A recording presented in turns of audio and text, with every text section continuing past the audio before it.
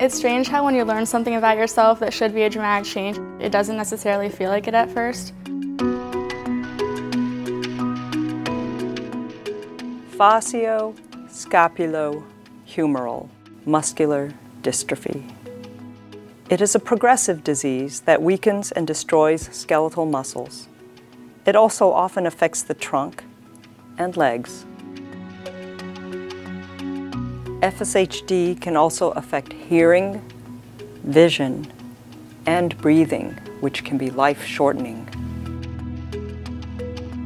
It took me almost a couple of years to actually have it sink in. This was the day I learned I had facioscapulohumeral muscular dystrophy. In 1991, when the FSH Society was founded, we had no idea of what caused the disease. We had no idea of how many people were affected. FSHD is a genetically inheritable disease. I inherited FSHD from my mother, Carol. Since I had the disease and my mother had the disease, it became a focal point for me to try to make a difference for her and thousands of people with FSHD. FSHD was first described in 1884 by two French doctors, Louis Landouzy and Joseph Dejerine. Nearly a century later, in 1980, a Dutch physician, George Padberg, published a thesis providing the first thorough modern description of FSHD. I was admitted to Harvard in 1980. During those years that I read Dr. George Padberg's thesis, and I really became further engaged in the problem of wanting to solve FSHD. The disease began to affect me well before I knew it existed. I no longer had the ability to run, and my right arm was dramatically weaker than my left. So I was not too surprised to learn that something was wrong with me. But it was hard to wrap my head around the fact that after years of doctor's visits and negative tests, we had finally found the answer. During the mid-1980s, as technologies to read the DNA code advanced rapidly, the idea of sequencing the entire human genome came to seem like an achievable goal. Daniel Perez joined the effort hoping to decipher the genetics of FSHD, but he became discouraged by the lack of funding and interest in his disease.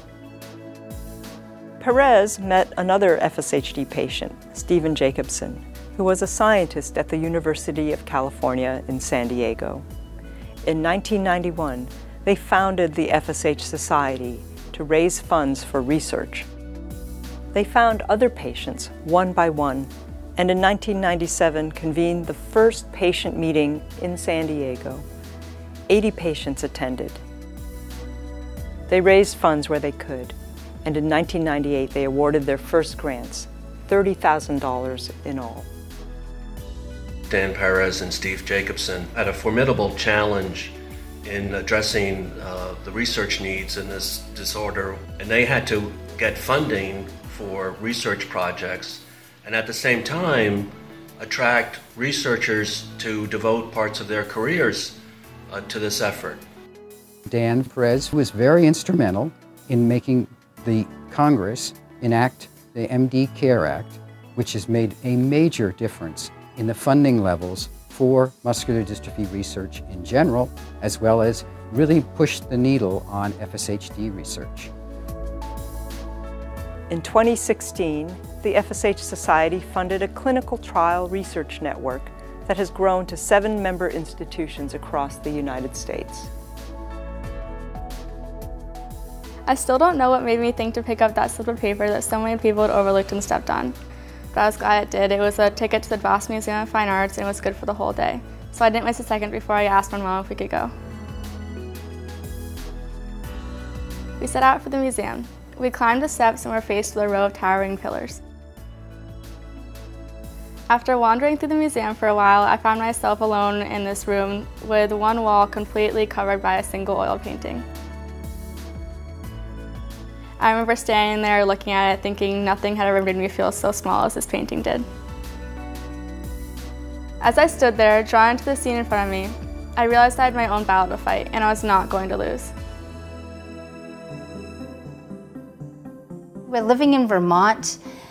There really wasn't like a muscular dystrophy clinic for, for children and we sort of felt alone and we didn't really know who to turn to. Um, but we talked to the muscular dystrophy clinic at Mass General Hospital and they referred us to the FSH Society and said that what a great resource they were.